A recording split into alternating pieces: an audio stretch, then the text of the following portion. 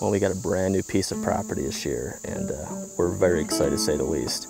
We've checked out onX on the computer, and this past week is our first time walking it. So we put the boots to the ground. We marked a few trees for tree stands. Um, we hung, I think, three trail cameras. So it's middle of the day now. We're gonna slip out of here, come back this afternoon, and we're gonna glass it for the first time. So we're excited. Open day's right around the corner.